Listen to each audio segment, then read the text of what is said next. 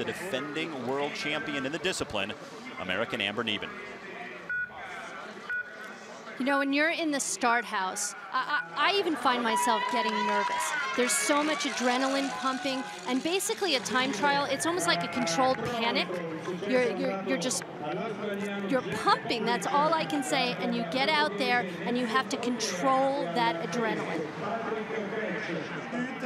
Here's the last woman on the course, American Amber Neben coming through the first interval, and she is almost 19 seconds slower than her fellow American, Kristin Armstrong. Surprising that, to you? That's not a good sign for Amber Neben. And this is Amber Neben now coming up to the end of her first lap. Now she's going to be well behind the time of her teammate Armstrong. And officially it's going to be almost 39 seconds back, seventh best time there, and it's going to be awfully difficult to defend now. I mean, almost no way she can make it up the way Armstrong's riding.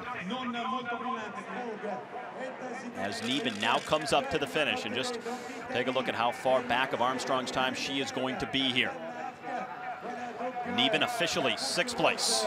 So Kristin Armstrong, the world champion for the second time,